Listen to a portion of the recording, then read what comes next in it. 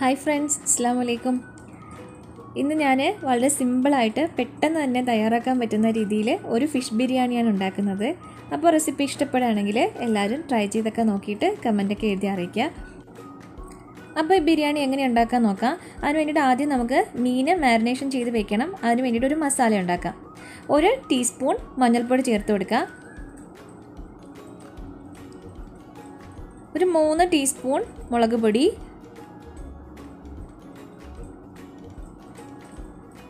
അര teaspoon garam masala powder. ആവശ്യത്തിന് ഉപ്പ് ചേർത്ത് കൊടുക്കുക. അര ടീസ്പൂൺ കുരുമുളക് പൊടി ചേർത്ത് കൊടുക്കുക. ഒരു ടീസ്പൂൺ ഇഞ്ചി വെളുത്തുള്ളി പേസ്റ്റ്. പിന്നെ ഒരു ചെറുനാരങ്ങയുടെ ജ്യൂസ് ചേർത്ത് കൊടുക്കുക. എന്നിട്ടത് നന്നായിട്ടങ്ങ് മിക്സ് ചെയ്തെടുക്കാം ഈ മസാല നമുക്ക് മീനിലേക്ക് പുരട്ടിയെടുക്കാം. ഞാൻ ഏഴ് പീസ് നെയ്മീൻ എടുത്തിട്ടുണ്ട്. ഞാനത് മസാല പുരടുന്ന സമയത്ത് ക്യാമറ ഓൺ ആയിട്ടില്ലായിരുന്നു അപ്പോൾ അതുകൊണ്ടാണ് ഇത് കാണിക്കാത്ത കേട്ടോ. ഇനി ദം ചെയ്യുമ്പോൾ ചേർക്കാനുള്ള സവാളയും റൈസൻസും നട്ട്സും ഒക്കെ വറുത്ത് കോരിയെടുക്കാം. അതിന് വേണ്ടിയിട്ട് അടുപ്പിലേക്ക് ഞാനൊരു പാൻ വെച്ചിട്ടുണ്ട്. അതിനകത്തേക്ക് ഓയിൽ ഒഴിച്ചു കൊടുത്ത് ഓയിൽ നന്നായിട്ട് ചൂടാകുമ്പോൾ സവാള ചേർത്ത് കൊടുക്കുക.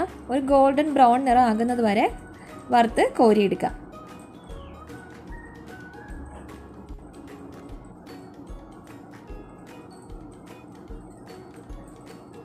ഇപ്പോൾ സവാള ഗോൾഡൻ ബ്രൗൺ നിറം ആയിട്ടുണ്ട്. ഇനി ഇത് നമുക്കൊരു പ്ലേറ്റിലേക്ക് മാറ്റിയെടുക്കാം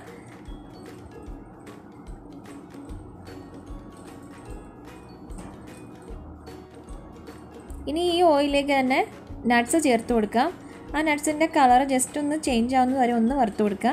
എന്നിട്ട് അതിനകത്തേക്ക് റൈസൻസ് കൂടി ചേർത്ത് കൊടുക്കുക. റൈസൻസ് ഇട്ടിട്ട് ഒന്ന് ജസ്റ്റ് ഒന്ന് ബോൾ പോലെ ഇങ്ങനെ പൊങ്ങി വരുമ്പോൾ അതങ്ങ് വറുത്ത് കോരിയെടുക്കാം ഒരുപാട് നേരം ഇട്ടിരുന്നാൽ പെട്ടെന്ന് തന്നെ അതങ്ങ് കരിഞ്ഞു പോകും ഇനി ഇതങ്ങ് മാറ്റി വയ്ക്കാം നമുക്ക് ആ ഓയിലിൽ തന്നെ നമ്മൾ മസാല തേച്ച് വച്ചിരിക്കുന്ന മീനും കൂടെ വറുത്ത് കോരി എടുക്കാം രണ്ട് സൈഡ് നന്നായിട്ടങ്ങ് മുറിച്ച് റെഡിയാക്കി എടുക്കാം.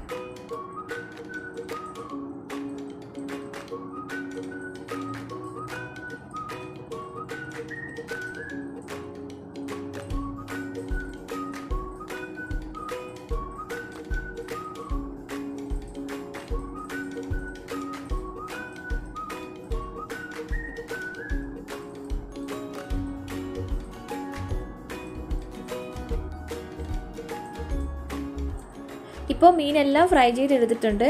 ഇനി റൈസിലേക്ക് ചേർക്കാൻ വേണ്ടിയിട്ട് മസാല തയ്യാറാക്കാം. അതിന് വേണ്ടിയിട്ട് അടുപ്പിലേക്ക് ഞാൻ ഒരു പാൻ വെച്ചിട്ടുണ്ട്. ഒരു രണ്ട് ടേബിൾ സ്പൂൺ വെളിച്ചെണ്ണ ഒഴിച്ചു കൊടുക്കുകയാണ്. നമ്മൾ മീൻ ഫ്രൈ ചെയ്ത ഓയിൽ ഒഴിച്ചാലും മതി. അതും നല്ല ടേസ്റ്റ് തന്നെയാണ്. ഇനി ഇതിനകത്തേക്ക് സ്പൈസസ് ചേർത്ത് കൊടുക്കാം.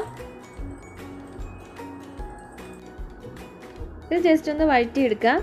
അതിനകത്തേക്ക് ഇഞ്ചിയും വെളുത്തുള്ളിയും ചേർത്തിട്ട് അതിന്റെ കളറൊന്ന് ചേഞ്ച് ആവുന്നത് വരെ വഴറ്റി കൊടുക്കുക. ഇനി ഇതിനകത്തേക്ക് സവാള ചേർത്ത് കൊടുക്കുക. അതിന്റെ കൂടെ തന്നെ കറിവേപ്പില പച്ചമുളക് ചേർത്ത് കൊടുക്കുക. ജസ്റ്റ് ഒന്ന് വഴറ്റിയിട്ട് കറിക്ക് ആവശ്യത്തിന് ഉപ്പും കൂടെ ചേർത്ത് കൊടുക്കുക.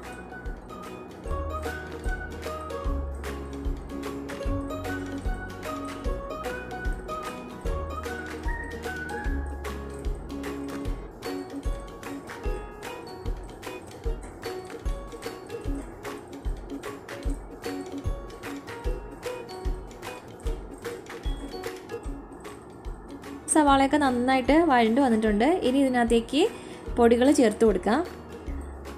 അര ടീസ്പൂൺ മഞ്ഞൾപ്പൊടി ഒരു ടീസ്പൂൺ മുളക് പൊടി ഒന്നര ടീസ്പൂൺ മല്ലിപ്പൊടി അര ടീസ്പൂൺ ഗരം മസാല പൗഡർ ചേർത്തിട്ട് ഇതൊന്ന് ഇളക്കി കൊടുക്കാം. അപ്പോൾ ഈ പൊടികളുടെയൊക്കെ ആ പച്ച കുത്തൊന്ന് മാറുന്നത് വരെ ഇതൊന്നങ്ങ് വഴറ്റിയെടുക്കണം.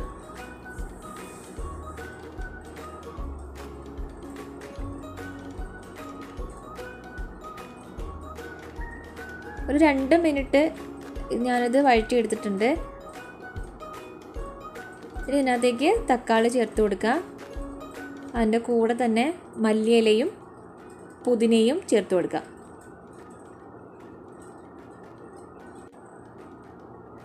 ഈ തക്കാളി നന്നായിട്ട് ഇതിനകത്തേക്ക് ഉടഞ്ഞ് ചേരുന്നവരെ നമുക്കൊന്ന് വെയിറ്റ് ചെയ്യാം.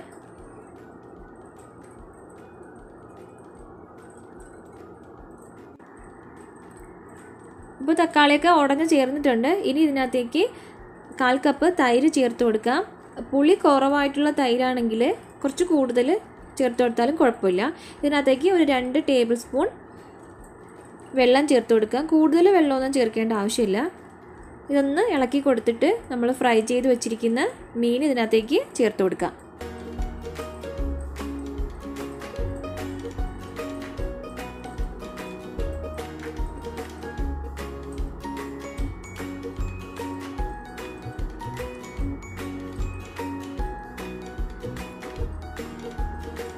ജസ്റ്റ് നമ്മൾ ഒരു സ്പൂൺ വെച്ചിട്ട് കംപ്ലീറ്റ് എല്ലാ ഭാഗത്തേക്കും നമ്മൾ ഈ മസാല ഒന്ന് മിക്സ് ചെയ്ത് കൊടുക്കുക എന്നിട്ട് നമ്മളിത് ലോ ഫ്ലെയിമിൽ ഏറ്റവും ലോ ഫ്ലെയിമിൽ വെച്ചിട്ട് അടച്ചു വെച്ചിട്ട് നമുക്കൊരു പത്ത് മിനിറ്റ് കുക്ക് ചെയ്തെടുക്കാം. ഇപ്പോൾ റൈസിനകത്തേക്ക് ചേർക്കേണ്ട മസാല റെഡി ആയിട്ടുണ്ട്.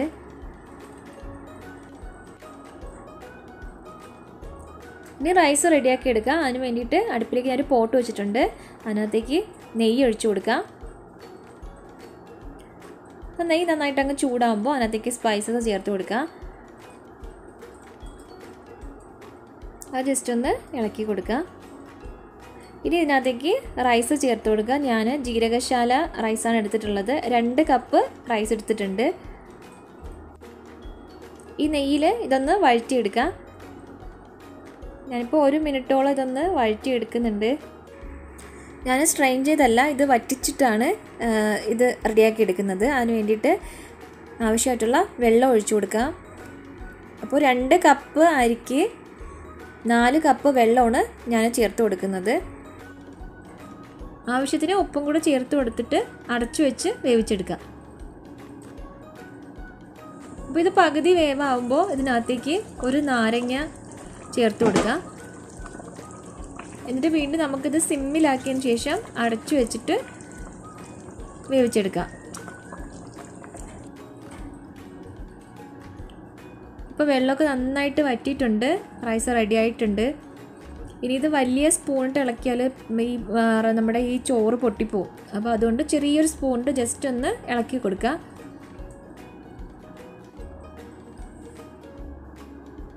ഇനി ദം ചെയ്തെടുക്കാം. അതിന് വേണ്ടിയിട്ട് അടുപ്പിലേക്ക് ഞാൻ ഒരു പോട്ട് വെച്ചിട്ടുണ്ട്. ഒരു രണ്ട് ടീസ്പൂൺ നെയ്യ് ഒഴിച്ചു കൊടുക്കുക. നെയ്യ് എല്ലാ ഭാഗത്തേക്കും ഒന്ന് ജസ്റ്റ് ഒന്ന് ചുറ്റിച്ചു കൊടുക്കുക. ഇനി അതിനകത്തേക്ക് ചോറ് ചേർത്ത് കൊടുക്കുക. ഞാനതിനകത്തേക്ക് പൈനാപ്പിൾ എസൻസ് ചേർക്കുന്നുണ്ട്. അത് ഓപ്ഷണലാണ് ഫ്ലേവർ ഇഷ്ടമല്ലാത്തവർ ചേർക്കേണ്ട ആവശ്യമൊന്നുമില്ല. അതിനകത്തേക്ക് നമ്മൾ വറുത്തെടുത്തിരിക്കുന്ന സവാളയും അതേപോലെ നട്ട്സ് റൈസൻസ് ഒക്കെ ചേർത്ത് കൊടുക്കുക. മല്ലിയിലയും ചേർത്ത് കൊടുക്കുക. പിന്നെ നമുക്ക് ഇതിനകത്ത് കളറിന് വേ വേണമെങ്കിൽ കളർ ചേർത്ത് കൊടുക്കാം ഞാനിപ്പോൾ കുറച്ച് വെള്ളത്തിൽ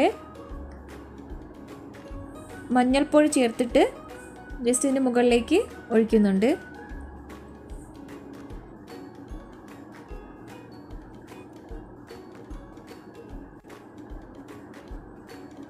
ഇനി അതിനകത്തേക്ക് റെഡിയാക്കി വെച്ചിരിക്കുന്ന മസാല ചേർത്ത് കൊടുക്കുക.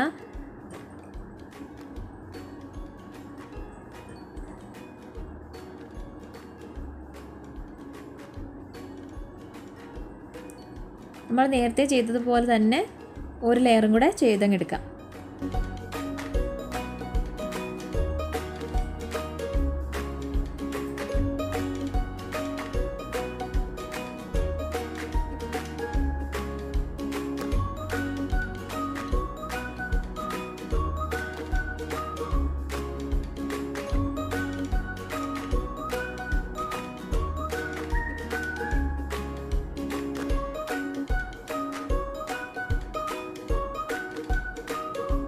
അപ്പോൾ ഇതിൽ നിന്ന് എയറൊന്നും വെളിപ്പോകാത്ത രീതിയിൽ ജസ്റ്റ് ഒരു ഫോയിൽ കൊണ്ട് ഒന്നങ്ങ് കവർ ചെയ്ത് കൊടുത്തിട്ട് അതങ്ങ് അടച്ചു കൊടുക്കാം. ഒരു പത്ത് മുതൽ ഒരു പതിനഞ്ച് മിനിറ്റ് വരെ നമുക്ക് ലോ ഫ്ലെയിമിൽ വെച്ചിട്ട് ദം ചെയ്തെടുക്കാം. ഇപ്പോൾ ഒരു പതിനഞ്ച് മിനിറ്റ് കഴിഞ്ഞിട്ടുണ്ട്. നമുക്കിതൊന്ന് ഓപ്പൺ ചെയ്യാം.